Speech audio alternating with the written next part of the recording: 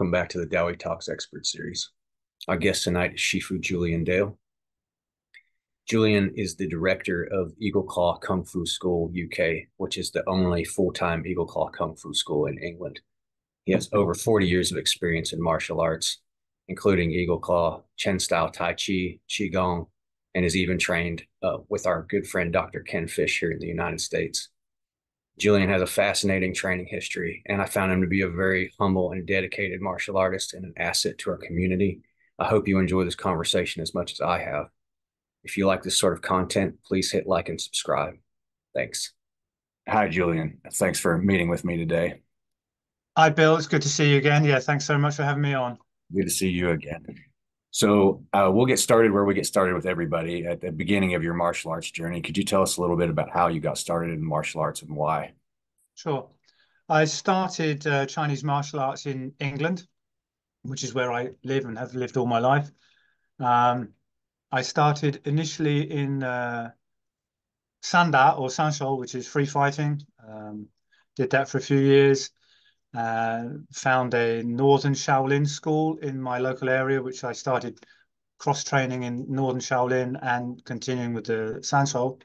Uh, and after, I think, must have been about five years, I was very hungry to get to the old school martial arts and traditional Chinese martial arts. So then I um, got a ticket and flew out to Hong Kong. That quickly. What what time period was this? so I started martial arts in '85 and uh, went out to Hong Kong in nine. My first trip out to Hong Kong was in 1990. 1990.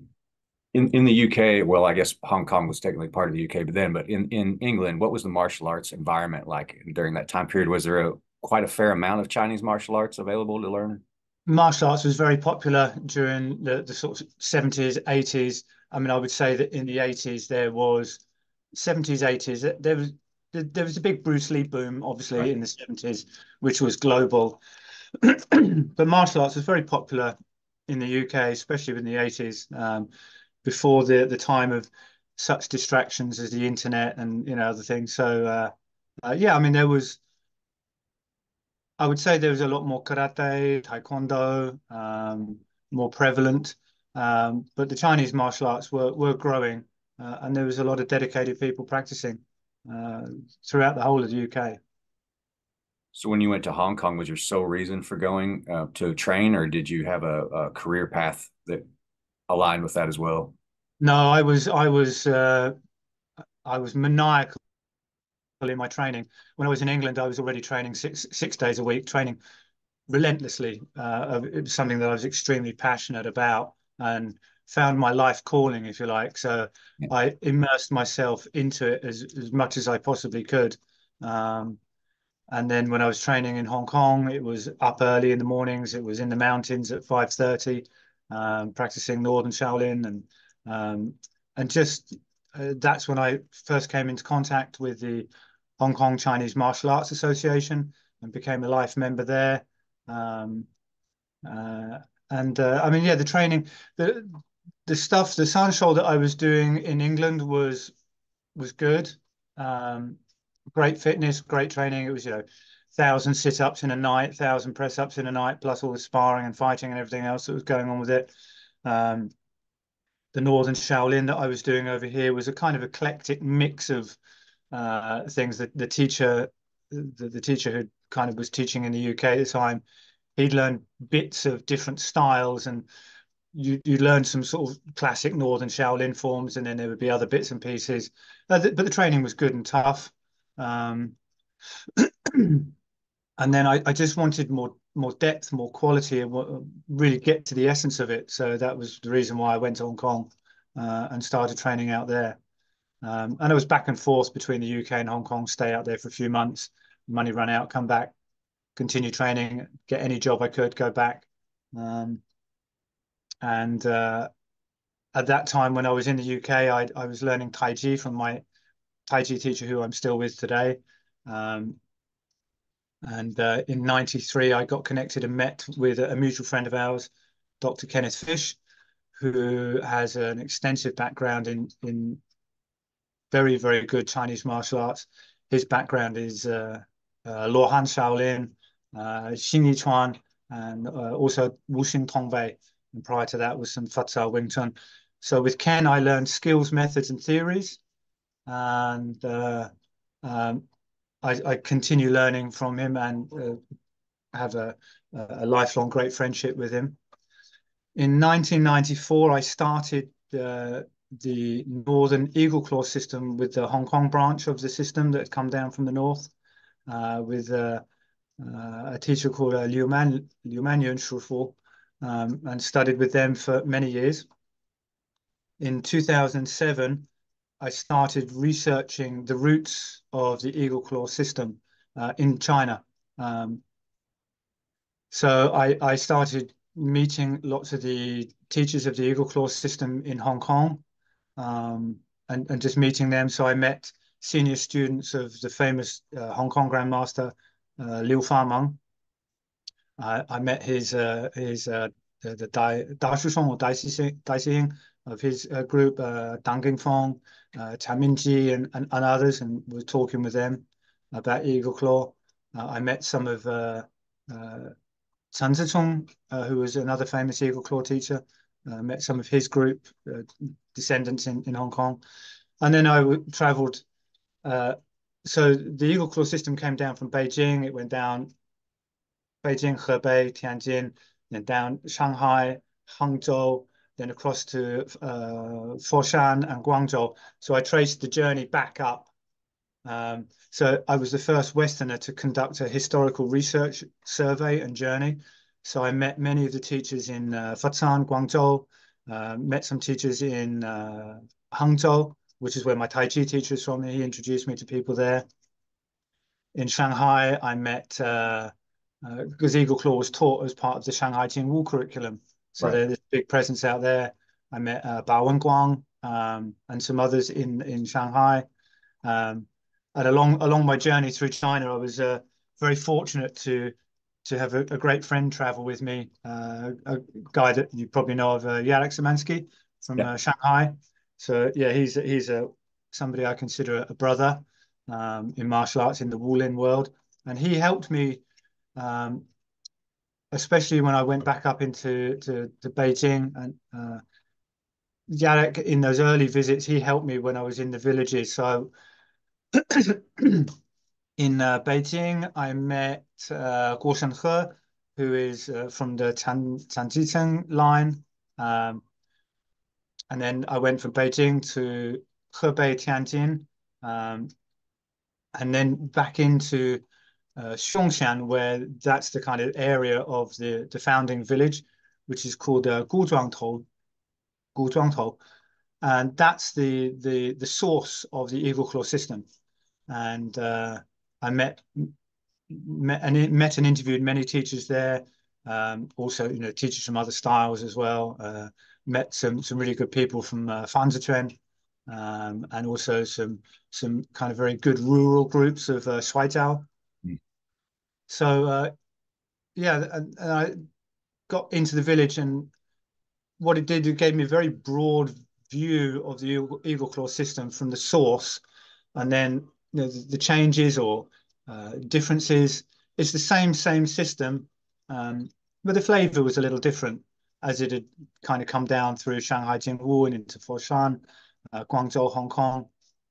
But in the village, they kind of retained the really old uh, method of uh, the family inheritance, and uh, I just found what I what I'd always been looking for. Um, you know, I I had very good very good experience and training through the Hong Kong branch, and I'm grateful for the the time that I spent there um, and the teachers and the time that that, that we did.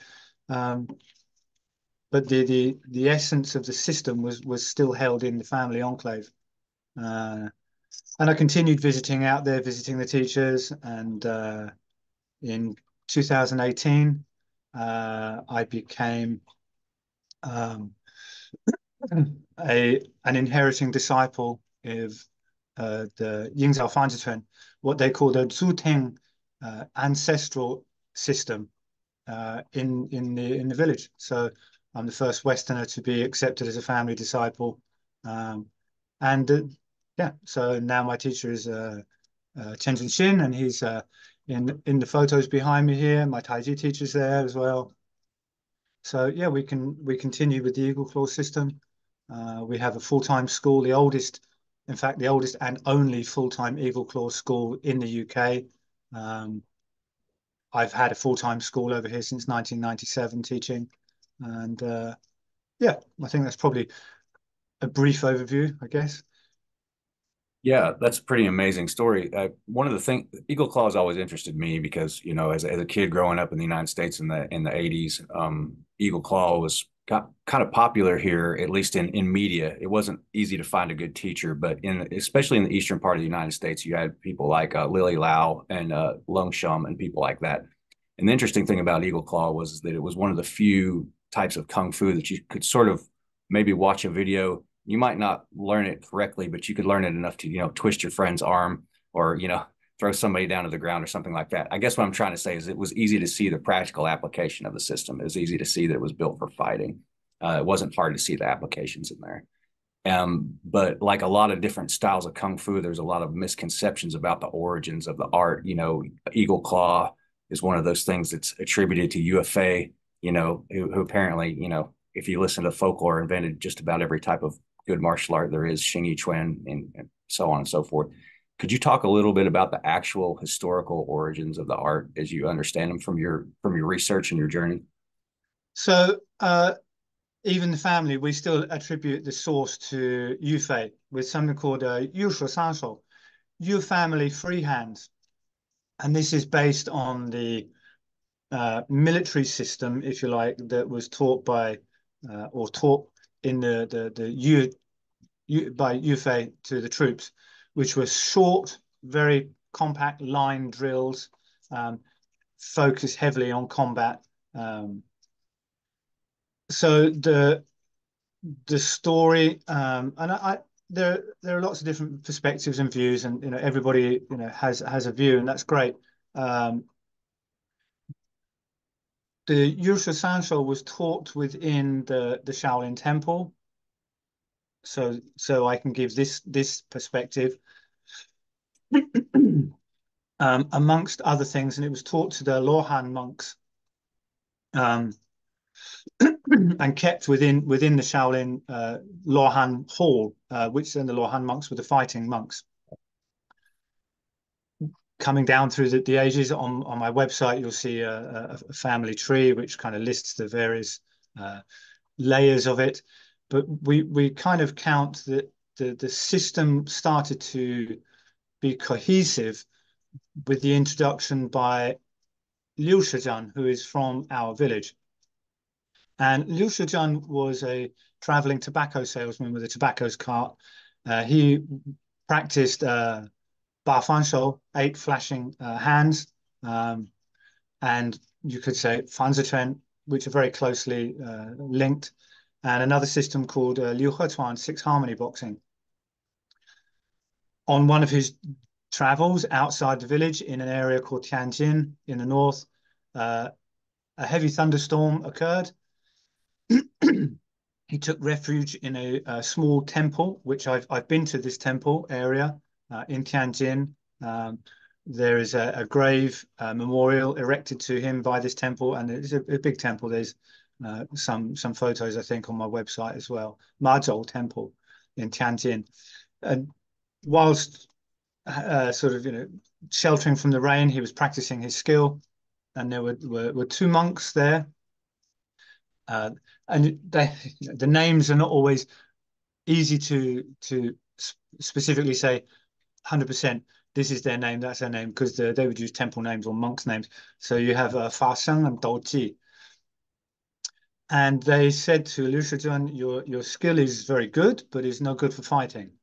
You know, these, how true this is, we don't know.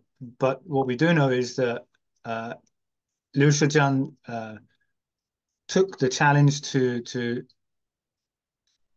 the Fa Sheng and Dou Ji and, and he was uh, easily defeated or submitted three times, at which point he kowtowed and asked to learn. And that's when he learned the Yushu Sanshou from the, the two monks. And what he then did after a number of years of learning this from them, he he was on his travels, but he returned to the village and he started to work on synthesizing and bringing together his Bafan Shou, Liu Hechuan, and the uh, uh, Yu Shou, uh.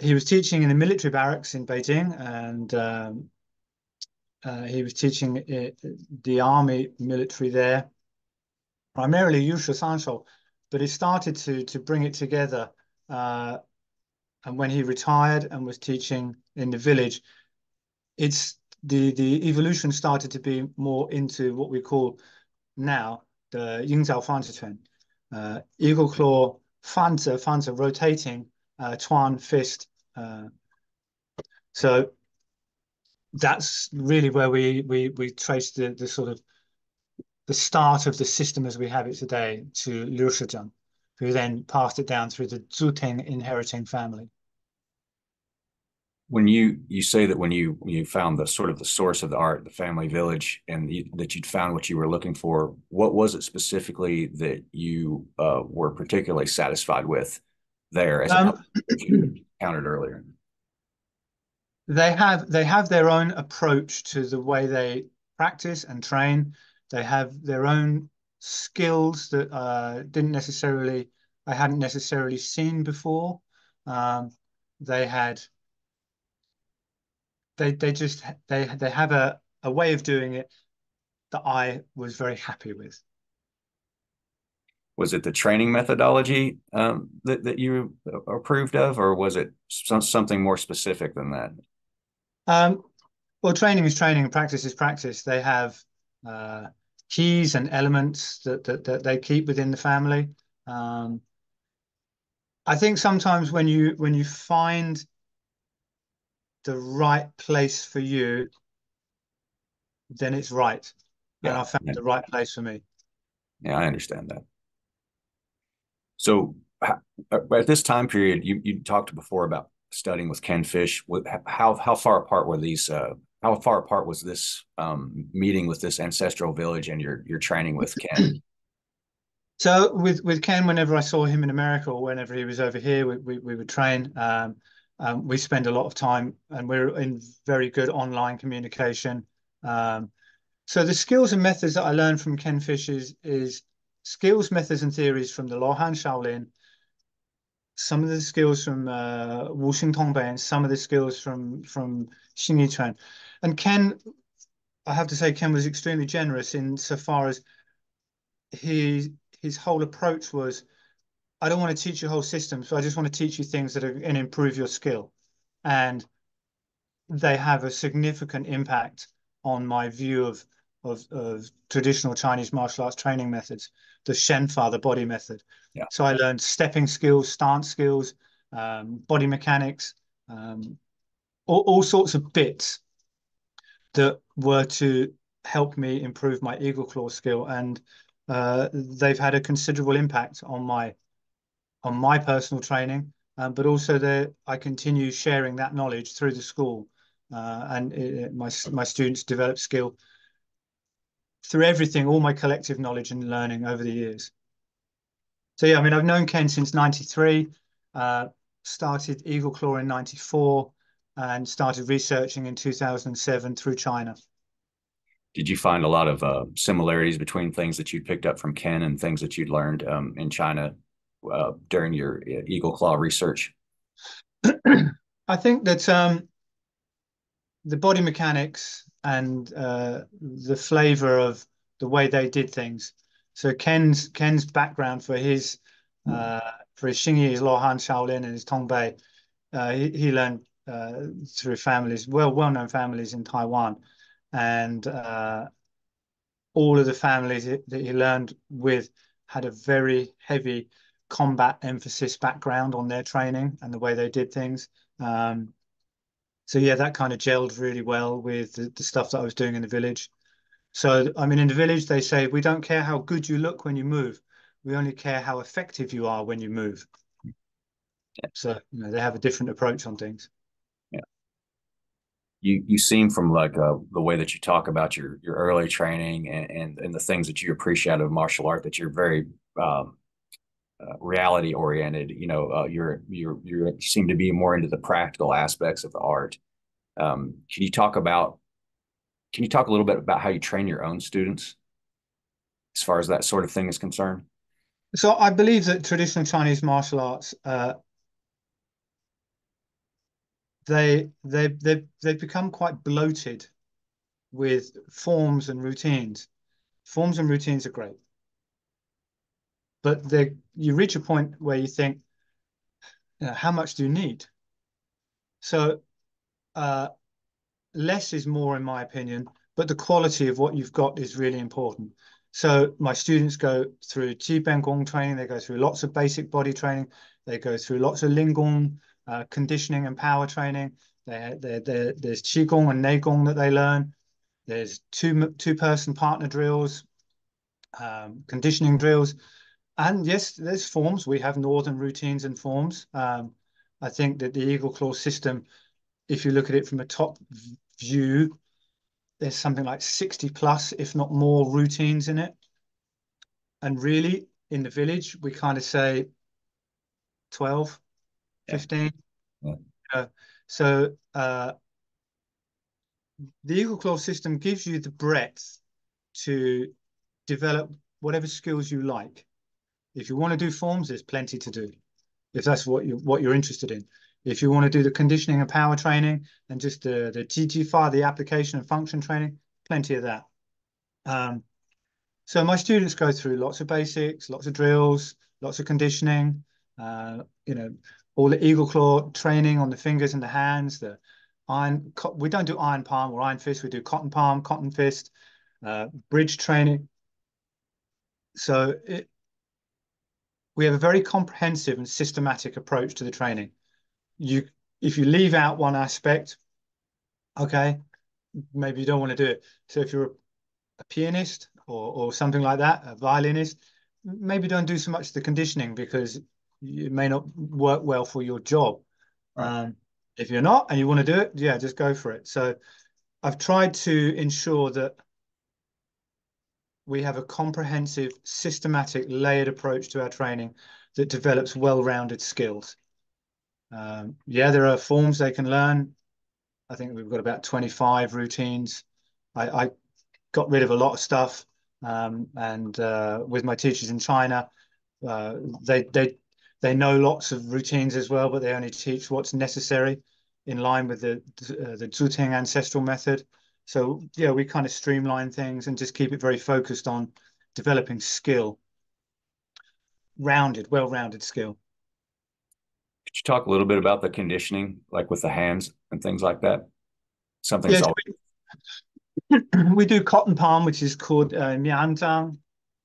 Uh, then we also do cotton fist, which is mian uh, mianchuan.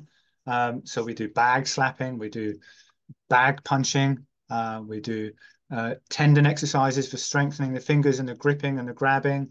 Uh, we, we, we strengthens the, the bones and the, in the arms, in the shins. Um, there's kicking and foot striking exercises. Um, so we we developed very much in, in similar principle, uh, soft as cotton on the outside, hard as iron on the inside. Now, I know that you have a background in herbology as well, herbal medicine and things of that nature. Uh, is that something that started at the very beginning of your martial arts practice, or is that something that you picked up later on the way? Uh, no, so I started uh, alternative medicine, uh, clinical nutrition, and, and, and holistic healthcare because I was interested in that even back in. I think I started that before 1990, um, and I have gone on to learn uh, acupressure uh, and point point work. Uh, the the Chinese meridian clocks, uh, the 24 hour clocks, of which there are two, and they need to overlap to get real good function. I make my own uh, Dit Da Jow, uh, you know, the fall and strike wine. We've got internal and external medicine. Um, and my my teacher's uh, family, they, my teacher's wife, her family has a uh, a very famous sort of 300 year history of traditional Chinese medicine uh, through her grandfather. And my teacher's wife spent 15 years doing apprenticeship study with her grandfather. So her knowledge of acupressure, massage, traditional Chinese massage and, and medicine is very, very good, exceptionally good, um, and very, very deep as well. And it was it wasn't like a classroom learning; it, was you follow the teacher and you learn as you go. So uh, yeah, they're very good, very good. Is that something that you teach in your school as well? I don't teach it because I, I don't consider myself qualified enough to teach it, but I treat student injuries here. And whenever my teacher and his wife are in, in the UK, as they are often here with us, uh, there's a whole queue of students who, yeah, can they book in? So, uh, yeah, for treatment. Um, and uh, she's always very busy looking after them um, uh, for all sorts of injuries and things. Not not necessarily injuries that they incur during the school, but uh, you know they've got back trouble, knee or elbow or shoulder or something like that. So yeah, she's always always treating people. Um, martial arts injuries, yeah, I've got all the poultices and medicines uh, and the internal medicines as well. Interesting. That's always nice to have that knowledge. Have you ever considered, um, given that you spent so much time and are one of the only people from the West to have done this, have you ever considered writing a book about your uh, Eagle Claw studies? As far um, as your research? Uh, yeah, I I have. I find myself so busy teaching all the time um, that I I haven't done as much work on the book as I as I should have because I'm just busy teaching all the time. Uh, the school is open six days a week, and I'm teaching morning, uh, and I'm working at, the school from nine till twelve, and then I'm at the school from four till ten every night. So my my days are quite long and quite busy here. Um, so I have got a book, um, and it will contain a lot of the research journey material, photos, information about teachers, people, places. Um, uh, I just need to, yeah, I need to stop doing one thing and just have the time to do the other thing. As, as it's just a lot of work. Um, yeah. I recently finished a, a 200 page instructor training manual for my students. Wow. Uh, which is, yeah, I mean, it's instructors only. Um, actually, I've got a copy of it here. So, yeah, I mean, it's, it's a 200 page book. Very nice. It's a book in itself, but it, it goes through everything you need to know about, you know, uh, teaching, training, and all sorts of oh, pictures, oh, all, all the all the terminology and language. Um, so yeah, I mean, it's a lot of the stuff is is I, I have this material, uh, but I've just put it together for my students. So um, there's only about 10 copies of that out there for instructors and seniors. Uh, but yeah, you're not the first person to say, when's your book coming out? Oh, yeah, it's yeah. a common it's a common story with martial arts teachers, you know, that they don't have the time to finish their books. But I mean, it's a good problem to have, right? You know, that, that you're too busy teaching to write. Yeah, I, I, guess the other thing is in, in the lockdown where we had these uh, the lockdowns, I I created the fir- the world's first online Eagle Claw uh, foundation training skills program. Um, so that's accessible anywhere in the world by people. Um, so I had time to video and record content, which I didn't have before because I was just so too busy all the time. So I've, I've done that. And uh, a few years ago, we translated one of the books uh, out of Hong Kong uh, by Grandmaster uh, Liu Fameng that uh, had never been translated into English. So I, I did that. So I mean, there's there's bits and pieces out there that, that people might find of interest. You, I think you mentioned earlier that you're one of the one of the few, if not the only, um, Eagle Claw teachers in the UK. Um, outside of the UK, how how happy are you in general with the quality of instruction at Eagle Claw? Do you think that it, it's a fairly decent quality in the West, or do you think it's it's lacking? Uh, I would say there are a lot of very hardworking teachers who dedicate their time and effort into passing on the skills and knowledge that they that they have. So everybody's working to a common goal of of uh, passing on their knowledge to their students in a positive way. It's a good answer. Um, so going back to your training just a little bit, you know, you mentioned that you had a little something for everybody in there, depending on what their uh, area of interest was in. What what kind of emphasis do you place on weapons? Do you teach weapons much at your school? Yeah, yeah, we teach uh, four four classic weapons: broadsword, uh, staff, spear, uh, straight sword. But we also do three section staff, halberd, uh, dadao, you know, big knife, um, uh, double daggers. Yeah, uh, solo forms and two two person weapon fighting forms. Um, so students learn them along the way. Do you get a lot of people that are that come to you uh, looking for forms and weapons and things like that, or do you would you say that more of your students come to you looking for a uh, fighting ability? I think it's a broad spectrum. People come for their own particular needs, and we don't hold anything back. We just teach things along the journey, along the way of of of, of learning. So they, they learn learn things systematically. Um, but we teach. I teach very openly uh, because I want my students to be better than me. What took me 30 years, I want them to do it in 10 because they have the access and the ability to do that. That's a great attitude for a teacher to have because I find a lot of times in the martial arts world, you have teachers that are, are very good martial artists, but they don't necessarily teach their students to surpass them for whatever reason, whether it's a reason out of business or, or ability. So I appreciate that you that you do that. Try to get your students to surpass you. Um, you you mentioned uh, you also have a Chen Tai Chi background, right?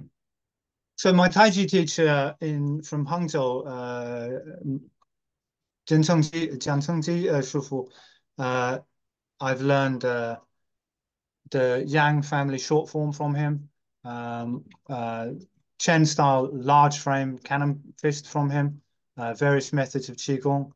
Um, and I, I, again, we, we also teach Tai Chi and Qigong in my class and my school for those that want to do it.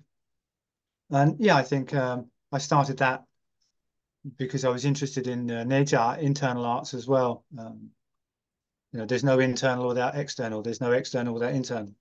Right. Yeah. Is uh does meditation play a role in your school at all? Uh, I teach meditation um, practice to those that want to learn it. So yeah, there are meditation uh, practices that we we have. I keep it very grounded. I don't go into the esoteric, uh, out of your head stuff too much. Anything that I teach, I teach so that it's very much within the body, very grounded and very rooted. Um, uh, yeah, I, I, I, people say, can you teach spiritual stuff? It's like, how? No, I can't teach you anything to do with that. Uh, it doesn't matter what I know or what I don't know. I just, I won't teach that because I, I don't, don't want people to get lost in that kind of practice. And I see a lot of people that have become psychologically slightly unhinged. Um, yeah. So I, I, I only stay within very grounded earth practices that are, that are good for the health and well-being. Yeah, I think that's wise. I also think those are the most useful practices to people on a day-to-day basis. My mm. opinion. Um. So given all that you've seen both in the West and, in the East as well, uh, what what do you think the place of these traditional arts are in the 21st century, and, and where do you think that they're going? Um, they will continue because there are pockets of very dedicated practitioners uh, who are passionate about passing on the knowledge. I the world has changed significantly since the big Bruce Lee boom days when everybody wanted to become a master. Um, and there were just hundreds of 10 minute masters everywhere. You know, we have the internet, we have access to everything, and you've got MMA, the, the, the big sort of UFC stuff. So the, the environment and the world has changed. It's moved on quite considerably. But there are a lot of very dedicated, hardworking teachers passing on traditional systems. And once people understand what's being taught. I think that's probably something worth mentioning is that when I have students come to the school, they know what they want, but they don't really know what they need.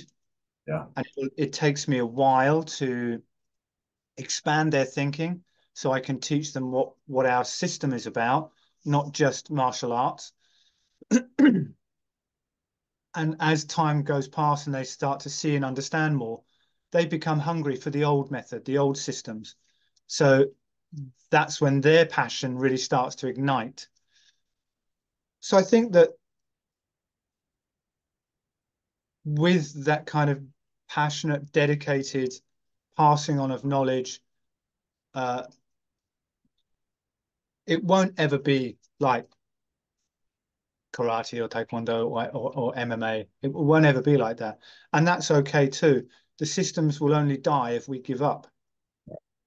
Uh, and in England, there's a very strong community of traditional Chinese Kung Fu people with deep skill, deep knowledge. They've done their time, they've trained, they've researched, they've done their travels.